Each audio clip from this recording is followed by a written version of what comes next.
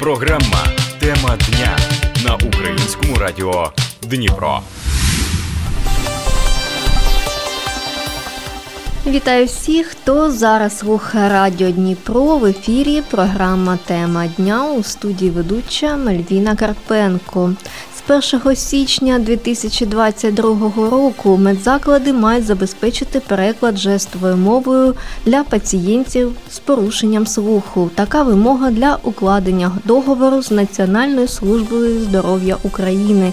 Про це повідомили в Кабінеті міністрів. Наскільки медзаклади нашої області доступні для людей з інвалідністю, і про це сьогодні ми говоримо з гостею нашої студії, начальницею управління східного міжрегіонального департаменту Національної служби здоров'я України Наталією Шулікою. Вітаю вас в нашій студії. Добрий день. Тож, е, пані Наталя, із початку. Нашої програми розкажіть взагалі про ось таке нововведення для медзакладів, що вони повинні забезпечувати переклад жестовою мовою для пацієнтів з порушенням слуху. Так, ми про це вже ем, не перший рік ем, говоримо, можна так сказати. Ем, і з 1 січня наступного року Національна служба здоров'я України буде укладати договори з медичними закладами лише при наявності у них такого договору на переклад жестовою мовою. Це дуже важливо, тому що ем, медична допомога вона повинна бути доступна всім громадянам. І е, тим більше людям з інвалідністю. І ми знаємо, що е, під час карантину е, люди, які мають вади слуху, вони взагалі опиняються в такому інформаційному вакуумі, тому що вони не можуть читати по губах.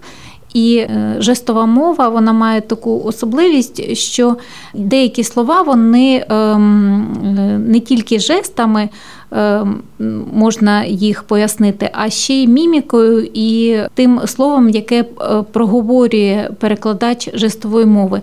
І ми ем, розуміємо, що під час карантину, коли люди в масках, коли лікарі в масках ті пацієнти, які мають обмеження слуху, вони е, ну, не можуть е, дістатися е, медичних послуг. І я хочу сказати, що в Україні близько 200 тисяч людей які користуються жестовою мовою, е, ми повинні враховувати інтерес кожного нашого пацієнта. І от е, саме тому тепер медзаклад, коли буде подавати документи на пропозицію укладення договору, йому потрібно додати також договір. Про надання перекладу і ем, сертифікат на експерта, який буде надавати цю послугу. А взагалі як це буде працювати? Взагалі, що будуть ось перекладати саме на жестову мову? Е, я хочу зазначити, що е, медичні заклади вони е, повинні відповідати умовам державних будівельних норм, будинки і споруди, інклюзивність будівель і споруд. Так саме ця будівельна норма вона трактується і означає, що лікарня має облаштувати місце для перекладача жестової мови або субтитрування за допомогою технічних засобів та забезпечити доступ до інформації через візуальне інформування, орієнтування і сигналізацію. Е, тобто, коли звертається ем, такий пацієнт, у лікаря має бути технічна можливість або запросити е, перекладача жестової мови на той час, коли е, буде пацієнт, або забезпечити наявність будь-якого мобільного пристрою. Це може бути е, планшет, це може бути, наприклад, там персональний комп'ютер, з якого можна бути можна вийти на зв'язок з перекладачем, і коли пацієнт е, приходить на прийом, приходить на прийом, так е, перекладач він має можливість побачити цей пристрій і ем, спілкуватися з лікарем через перекладача. це цивілізоване таке рішення для тих людей, які мають вади слуху. Жестовою мовою перекладається щось ось людям, які мають вади слуху на сьогодні, в якихось взагалі медзакладах нашої області. Таке Ви знаєте, як це зараз відбувається? Зараз е, ті люди, які мають вади слуху, вони звертаються в товариство глухих, там є перекладачі. Е, цих перекладачей е, дуже бракує. Вони ж потрібні не тільки в медичних закладах, вони потрібні і в, наприклад, там закладах інших центрах соцзахисту. Да. Або, наприклад, там, якщо йде ем, справа в суді, розглядається. І е, такий перекладач він може бути задіяний з одним пацієнтом декілька годин. І е, зараз ну дуже рідко, коли такі пацієнти можуть прийти у медзаклад саме з перекладачем. Частіше вони зі свого мобільного телефону показують лікарю, пишуть текст, показують, лікар е, їм також е, пише. Не всі лікарі зараз е, хочуть витрачати на цей час, на жаль. Ну от Особисто я чула таку думку, що люди з інвалідністю вони е, не хочуть звертатися до медичних закладів, тому що для них це проблематично, і е, ну, тобто вони скоріш не підуть туди, ніж будуть йти і якось сподіватися, що їх хтось може зрозуміти. А зараз пропоную послухати про те, з якими проблемами стикаються люди з порушенням слуху при зверненні до медичних закладів області. І про це далі розповість голова Дніпропетровської обласної організації Українського товариства глухих Ірина Троян. Если человек не слышит, и у него нет возможности читать по губам, то это ужасная проблема. Человек в больницу поведет, в поликлинику, никакой помощи получить не сможет. Мы все врачи готовы писать на листочке свои вопросы и ждать, когда неслышащий человек напишет ответ. Потому что это время, а у врачей время тоже на обслуживание не ограничено в рамках.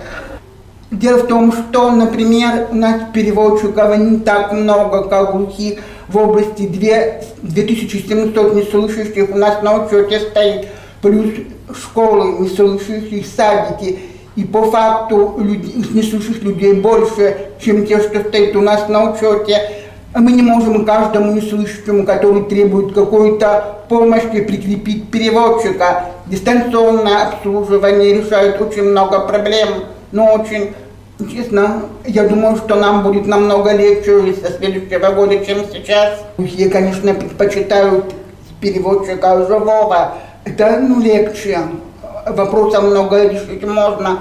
Но у нас один переводчик и обслуживает неслушных по записи. Запись уже до конца декабря.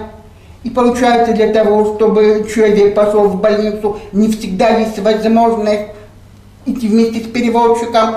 Конечно, в больницах, в поликлиниках проблема в чем? Бывает очень слабый интернет. И если установят хороший интернет, то в обслуживании проблем не будет совсем. Конечно, лучше, чтобы был планшет, чтобы было видно хорошо, потому что бывают взрослые люди, проблемы со зрением, но в крайнем случае смартфон решает тоже можно пользоваться. Не сейчас почти у всех есть смартфоном. Поэтому я сама тоже, когда болела, прихожу к врачу, ну честно, в масках, непонятно, что говорит. Ну, ну тяжело, но это вообще очень тяжело быть глухим. И поэтому, когда вот такие вот предложения по облегчению жизни слышащих, ну, это нам это очень большая ну, радость. Хотелось бы в это верить, что в следующем году будет все лучше, чем сейчас. Сейчас, например, тоже бывает, не все врачи даже по сервису ТОГу не хотят разговаривать, требуют живой переводчик, живой переводчик давайте. Есть такие врачи, поэтому очень сильно хочется надеяться, в следующем году таких проблем не будет. Це була голова Дніпропетровської обласної організації Українського товариства глухих Ірина Троян. Ви слухаєте програму Тема дня. на українському радіо Дніпро. Нагадаю, в ефірі звучить програма Тема дня, і сьогодні ми говоримо про те, наскільки медзаклади нашої області доступні для людей з інвалідністю. І гостя нашої студії сьогодні начальниця управління Східного міжрегіонального департаменту Національної служби здоров'я України Наталія Шуліка. Пані Наталя, на сьогодні загалом ситуація по медзакладах в нашій області, наскільки вони ось доступні людям з інвалідністю, ось різною маломобільним людям? Так, ми е, перевіряємо е, доступність закладу. Ну, взагалі, коли е, Національна служба здоров'я України почала укладати договори на медичне обслуговування в 2020 році, ми попереджали медичні заклади, що вони повинні відповідати державним будівельним нормам для людей з інвалідністю, маломобільних груп населення. І е, з 1 липня цього року Нацслужба здоров'я вже не укладає договір на надання медичних послуг, якщо е, лікарня не надала е, експертний висновок про доступність для людей з інвалідністю та маломобільних груп населення. Вони мали час. Ця норма вона не виникла е, ну, раптово, і лікарня мала до цього підготуватися. Тобто, е, що таке доступність? Доступність це і пандуси. І е, широкі там пройоми, і е, туалетні кімнати, які пристосовані для людей, наприклад, на візках. інвалідних візках. Так. І це ліфти, це нанесення тексту Брайля для е, тих, хто має вади зору. Ну, Знову ж таки, е, сходи, які е, обладнані е, спеціальними поручнями. Е, і ці вимоги вони ми не перевіряємо, тобто ми не їздимо у кожну лікарню, щоб подивитися, е, наприклад, е, відповідає вона вимогам чи ні. Ми перевіряємо звіт який надає експерт. Е, відповідність е, інформації, яку надає експерт, це його особиста відповідальність. І якщо, наприклад, він вказав, що е, ну, там є пандус, а пандуса немає, то це відповідальність експерта, і експерт за надання ну, такого неправдивого висновку він може бути позбавлений ліцензії. І Працівники Національної служби здоров'я вони перевіряють інформацію, яка вказана в цьому експертному висновку. І якщо, наприклад, у висновку вказано, а чи були що... такі ситуації, що не співпадав висновок і взагалі в медзакладі, чи є, наприклад, ось ті вказані пандуси та все інше? Е, Ви розумієте, ем, ми ем, частіше за все завертаємо висновок, якщо там, наприклад, вказано, що часткова доступність або ем, доступний е, за усунення недоліків. І тоді ми повертаємо е, закладу цю інформацію і вказуємо, що потрібно е, привести ці вимоги до, до виконання. Якщо, наприклад, ми розуміємо, що, наприклад, є старі будівлі, так і е, там не передбачено ліфт. Ну тобто, ми розуміємо, що лікарня не може зробити ліфт у старій будівлі, в якій е, не це, це взагалі не передбачено. Тому тоді е, допускається. Е, розумне пристосування, тобто для людей з інвалідністю облаштовуються кабінети на першому поверсі, і на другому поверсі, наприклад, лікарні знаходяться ну, такі підрозділи, які ну, не стосуються їх робота з пацієнтами. Там Це може бути бухгалтерія, це може бути лабораторія, ну, куди пацієнт не ну, можна туди не потрапляти. Я хочу сказати з свого особистого досвіду. Ну, от, Наприклад, на е, минулому тижні ми були з візитом в Нікопольській дитячій лікарні. Вона е, відповідає повністю і, ну, тобто, все, що потрібно. для виконання державних будівельних норм для людей з інвалідності вона повністю відповідає і шрифти Брайля, і е, сходи, і пандуси. І ем, ну, знову ж таки, з мого досвіду, ті лікарні, які відкривалися е, останні роки, амбулаторії ага, тобто нові, обновлювалися, нові. так вони вже остаточно і повністю відповідають. Старі лікарні ми розуміємо, що там є розумне е, пристосування, коли людина з інвалідністю ну, вона е, не повинна потрапити в те чи інше приміщення, яке до цього не пристосовано. Ну, Тобто там їй нічого робити, скажімо так, там не знаходиться кабінети або ну, там якісь ем, інструментальні дослідження дослідження там не проводяться. Ну так так воно потрібно, щоб працювало.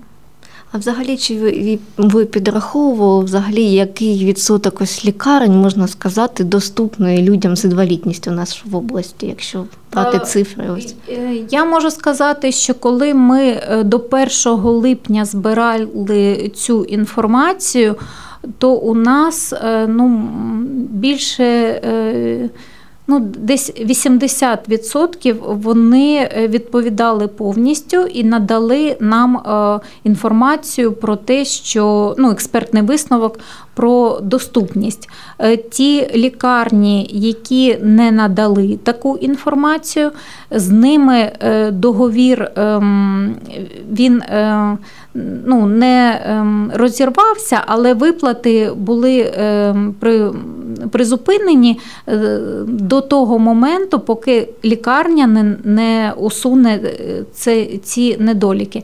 Я хочу сказати, що ті лікарні, які е, знаходилися у старих будівлях, ну от, наприклад, у нас е, друга. Лікарня, вона у нас на проспекті Нігояна, і ми знаємо, що там дуже старе відділення, що там неможливо щось е, зробити для людей. І ем, є, ну, проходить реорганізація, е, коли ем, об'єднання лікарень і е, послуги, які потрібні людям, е, переносять в сучасні ну, такі будівлі. Корпуси, так, так. А ці е, корпуси, які ем, залишилися з тих ще радянських там часів, вони е, будуть використовуватися або там в адміністративних, або в інших цілях. Ну тобто, якщо ми не можемо ем, цю будівлю якось там змінити, ем, є є е, знову ж таки рішення про злиття лікарень, про об'єднання, і це е, ну, на користь пацієнта. А взагалі, чи можна ось подивитися десь інформацію, наскільки ось медзаклад пристосований для людей з інвалідністю? Якщо людина має інвалідність, чи ну, дізнатися їй, чи вона зможе ось прийти в цей медзаклад? Ну, ви розумієте, якщо, наприклад, ем, цей е, заклад має договір з Національною службою здоров'я України, це означає, що ем, доступність, ну принаймні експертний висновок він є позитивний. Але е, якщо пацієнт е, розуміє, що його права порушені, і ну, ну от був такий випадок, коли е, лікарня сучасна, нова лікарня але не працювала кнопка для того, щоб пандус ну, опустився пандус для людини на візку. І е, ця людина вона поскаржилася е, на телефон гарячої лінії 1677 лінія Нацслужби здоров'я України. І ми реагуємо на такі випадки. Тобто наявність такого електронного пандусу, вона, на жаль, не завжди означає, що він працює. Тобто бувають такі випадки, коли, е, наче обладнання все є, але е, все одно людині недоступна ця доступність. І е, ну, в таких випадках ми радимо звертатися на 1677. Дякую вам, що ось завітали до нас. Нагадаю, гостею нашої студії була начальниця управління Східного міжрегіонального департаменту Національної служби здоров'я України Наталія Шуліка. І говорили ми про те, наскільки медзаклади нашої області доступні для людей з інвалідністю. Ви слухали програму Тема дня режисер ефіру Олександр Сохач, інженер Микола Ніколішин. А для вас в студії працювала ведуча Мальвіна Карпенко. До нових зустрічей в ефірі.